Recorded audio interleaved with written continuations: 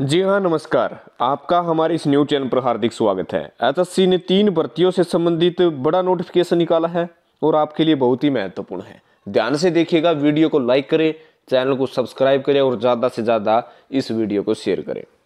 आपको बता दें कि पटवारी ग्राम कनाल पटवारी और ग्राम सचिव की जो तीन भर्तियाँ थी, हालाँकि ग्राम सचिव का एग्ज़ाम हुआ था, फिर उसे कैंसिल कर दिया गया था। अब इन तीनों भर्तियों के लिए फिर से आवेदन प्रक्रिया शुरू हो गई है। ये देखिएगा रीओपनड फॉर्म दोबारा फॉर्म भरे जाएँगे।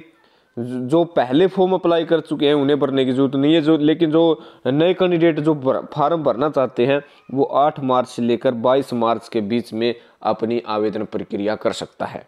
ये आप देख सकते हैं वेबसाइट पर।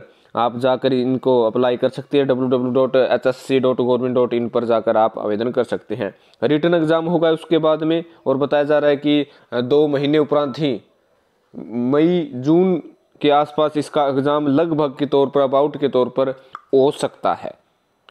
तो आप अपने साथी, सगे संबंध, रिश्तेदार को ज़रूर बताएँ कि अगर आप बीए की हुई है ग्रेजुएट की हुई है तो आप 8 मार्च से लेकर 22 मार्च के बीच में कनाल पटवारी पटवारी ग्राम सचिव के लिए आवेदन कर सकते हैं। बहुत ही बड़ा सुनहरा मौका हरियाणा सरकार ने दिया है। तो जॉब और जॉब से रिलेटेड अधिक जानकारी के लिए आप इस चैनल को ज़रूर सब्सक्राइब करें। धन्यवाद।